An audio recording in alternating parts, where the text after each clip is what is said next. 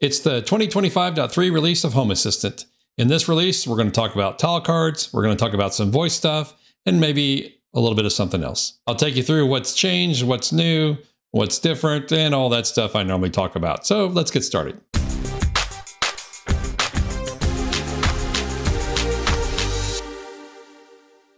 As I mentioned, there was a lot of work done on the tile cards in this release. And I created a small little dashboard to kind of highlight some of these changes and show you what's different and what's new. There's a couple of new features that have been added. Uh, one of them is switch toggle, at least that's what I'm calling it, and then uh, counter actions. These are features that probably should have always been there, but uh, for some reason got overlooked, but they're added now. So there's a couple things here um, about the way this works, and I'm going to combine some new features and other things as I go along here. But here's just the, the toggle, right? If you have a switch, for example, I'm using a switch here, I can toggle this directly from the dashboard itself or directly from this card. I don't have to uh, go into the card and then toggle it, which you've seen for some of these other things. For example, if I click this, this is what it used to look like.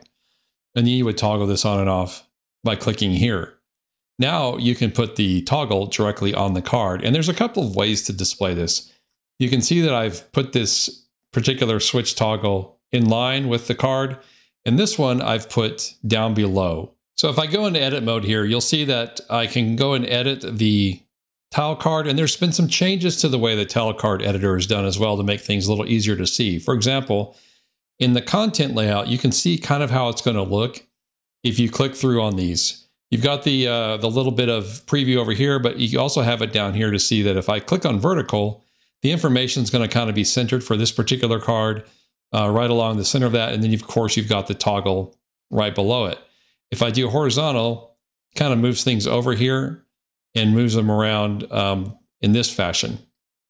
The other thing you can do under features is you can either put stuff along the bottom or you can put them in line. In this case, the feature we have, the only feature we have available is toggle.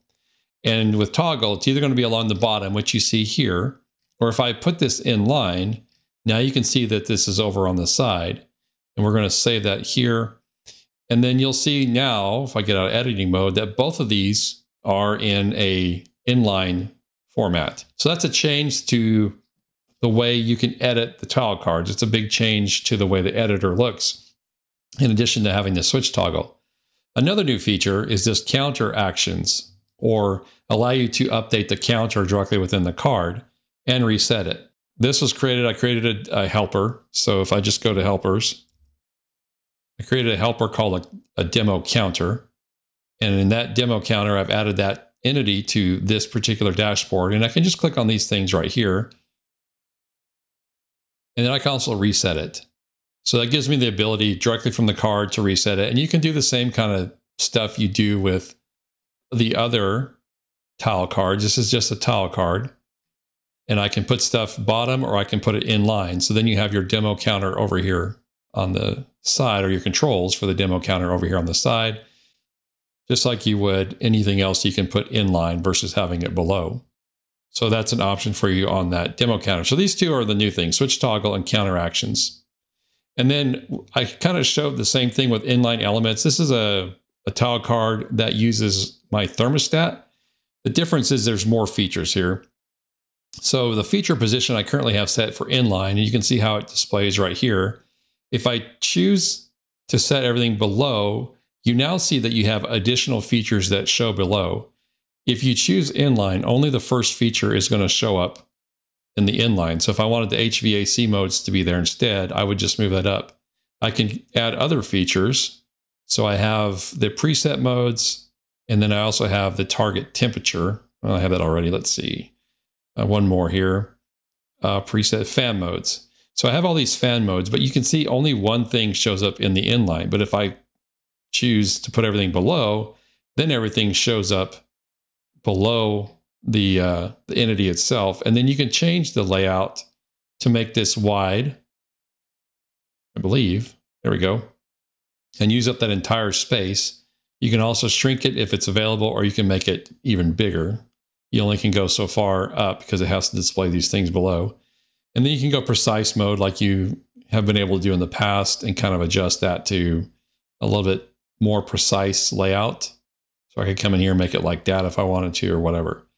So the difference now is that in this particular layout for the tile cards or this particular display, you can actually put everything down below along here. Or if you want to have that space back, you just go in and you set it for uh, inline mode and choose whichever thing you want to display. In my case, I want the target temperature because that's what I interact with the most. And I'll save it. And now I have, well, I need to change the layout. Don't forget to change the layout if you do that because otherwise it's too big. Reset that.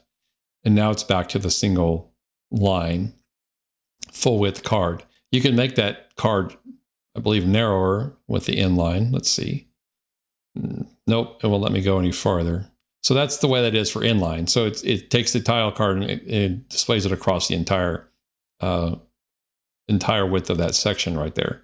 And you have this other thing called, I'm calling it visible actions or not in this particular section. And what that means is that these tile cards, sometimes it was hard to know whether or not the actual uh, button over here was something that could be turned on or off, toggled or whatnot, versus just displaying information.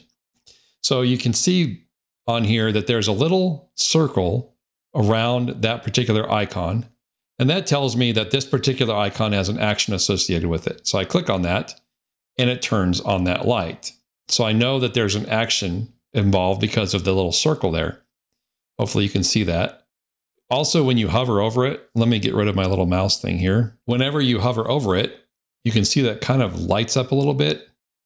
So it responds to mouse hovers to give you an indication that you're doing. It's just kind of a nice to have visual look to it.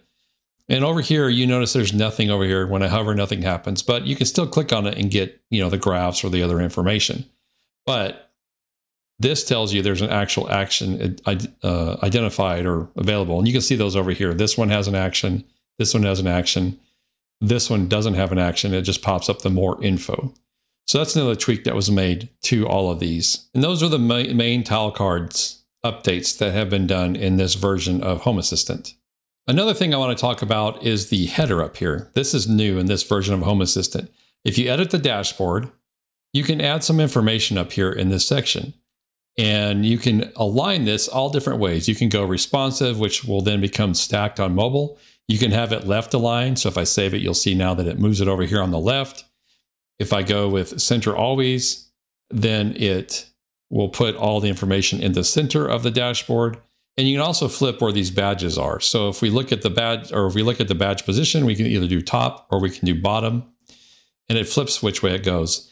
The other thing you can do is you can put some text in here. So in this case, I've put in some text and I've, you can either make this card style, by the way, or you can make it text only. If I do card style, you'll see what it looks like uh, get out of here. It looks like there's a card up here, kind of with a little background and whatnot. So you could do that card style, or you can do just text only by editing this section here.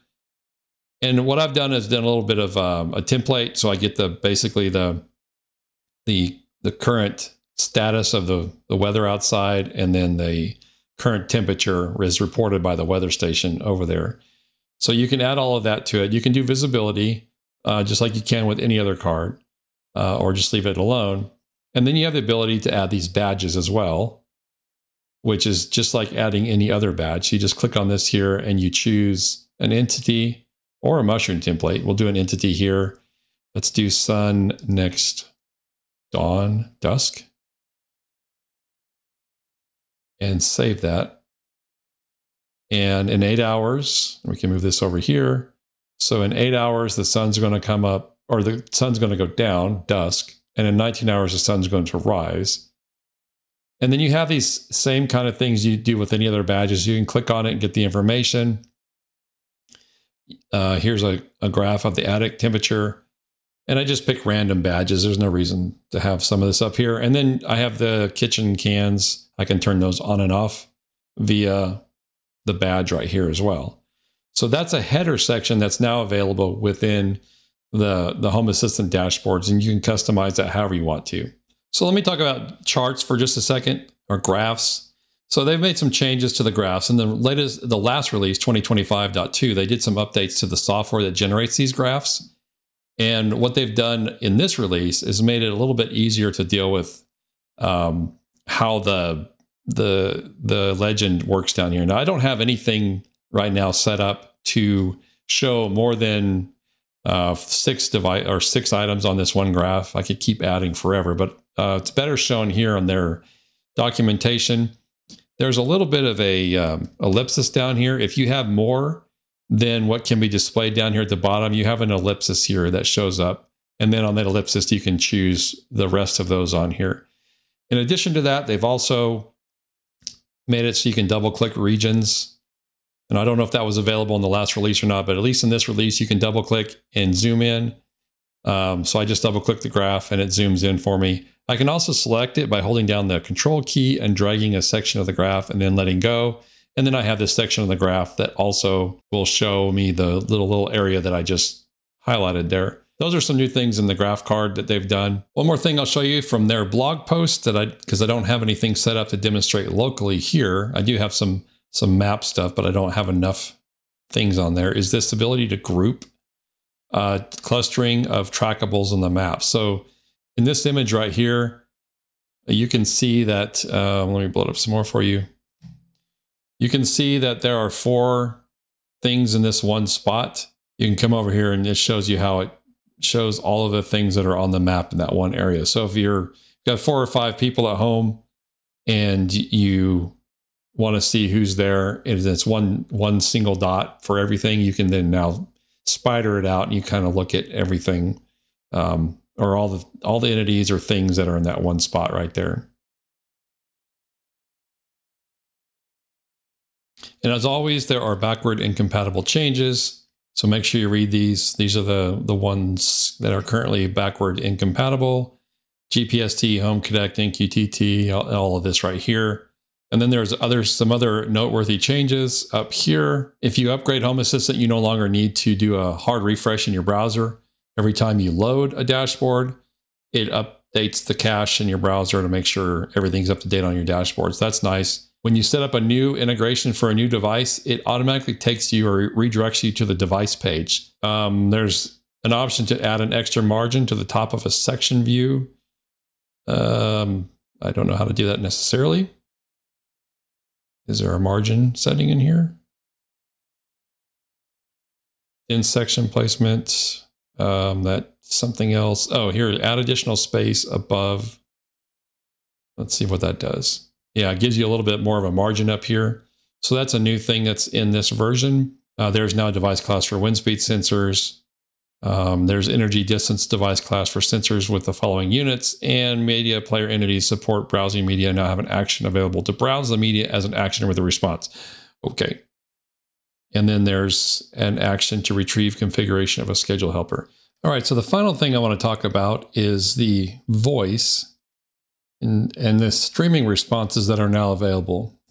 And this is from their blog post. If you have an LLM agent like ChatGPT, that's set up in your assist pipeline or your conversation agent, it's going to live stream the responses when you're text chatting with it. When I talk about text chatting with it, I'm talking about opening a window and saying something like hello, which, yeah, which is, is a text chat, right? Not, this is not available from the voice uh, devices yet. If you're using a larger language model or using slower hardware, it makes the LLM slow down because they need a lot of processing power. So the larger the model, the more processing power it needs. The slower the hardware, the longer it takes to process. So all of that can go together to make it feel a very feel like a very sluggish response.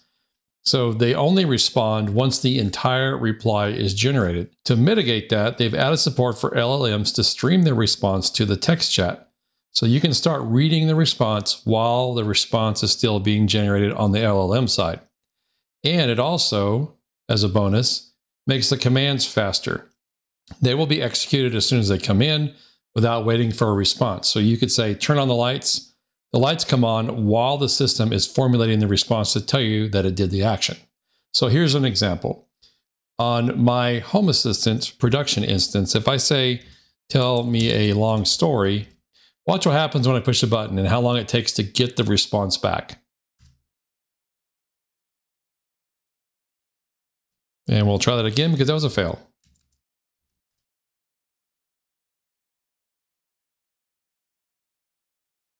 And we're waiting, and that's how long it took.